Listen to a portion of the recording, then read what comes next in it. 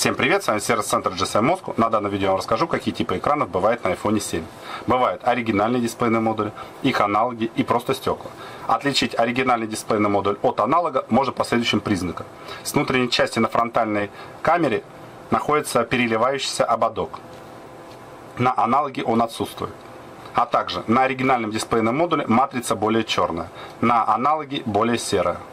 Но если на вашем айфоне разбито только стекло, а сенсор реагирует и дисплей показывает, то вы можете заменить просто стекло.